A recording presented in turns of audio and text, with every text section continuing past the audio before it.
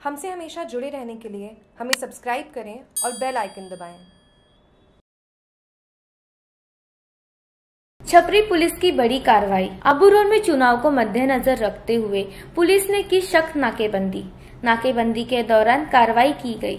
अवैध पिस्तौल से युवक को किया गिरफ़्तार, और पुलिस ने एक लाख रुपए की नकदी भी की बरामद। एसपी जय यादव के निर्देश पर हुई कार्रवाई, और एएसआई कैलाश चंद्र और हेड कांस्टेबल राजाराम के नेतृत्व में कार्रवाई की गई। आरोपी पालनूर निवासी बताया गया है। आबू रोड से जागरूक टीवी की रिपोर्ट।